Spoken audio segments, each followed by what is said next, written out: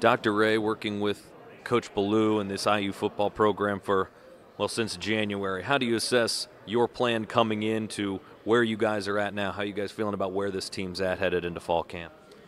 Uh, after we got here, maybe week two or three in January, we sat down looking at some data and kind of projected out where where we thought we needed to be to compete in the Big Ten.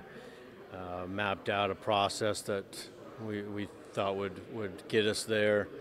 Um, very, very impressed with our guys. I don't think either of us have ever pushed a team that hard, that long.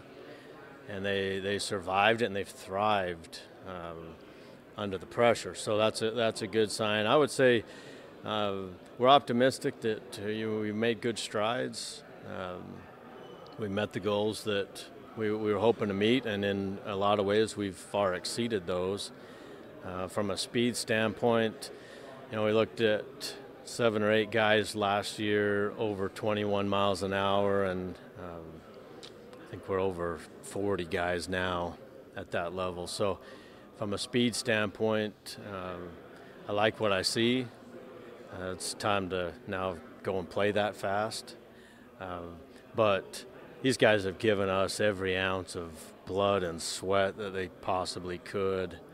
Uh, and really a credit to them that uh, that they've thrived under that type of a system. But you know, you bring great science and great work ethic together, and good stuff happens. As you show these kids the numbers and their improvement numbers, how quickly do you see them buy into what you guys are doing?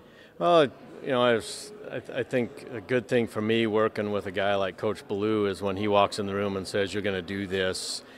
Uh, the buy-in happens just out of fear, uh, but you know, we collect data so much that on a on a monthly basis, they're getting reports about themselves, about their position groups, about the team in general, and uh, as we work towards spring football, the the the gains have started to come and they're starting to feel it. And so I think it, the, that process of buy-in happened fairly quickly, and that more from a mental standpoint where you know you just want you want the, the guys to have full faith in what we're doing and some of the stuff we ask them to do uh, you better have full faith in it uh, or the effort's just not going to be there and so I, I, I think I see a lot of guys that are all in and uh, I, I, expect that that'll show up on the field. Now, as you translate from off season to fall camp and then this season, what changes for you as far as the, the training program? How do you translate your work in the regular season? Well, in the off season, you, you rely a lot on, on the amount of work that you can have more hours with the guys, so you can you can get in more volume, more work. Now that we get into the season, now it's kind of when the fun stuff happens, where the, the technology and the science and the unique aspects of our system really start to kick in. Our data over the years, we our guys get faster during the year. Um, so it's not something that stop. We don't stop. We don't go into a maintenance phase. It's you know we're always seeking gains, but you have to do it in far less time and far less work. So I, I, think the real value of this the system that we're operating really starts to demonstrate itself in season. Uh, things get fine tuned quite a bit. You know, guy, we talk a lot about how you know guys don't just go in the weight room and do the exact same thing as everybody else.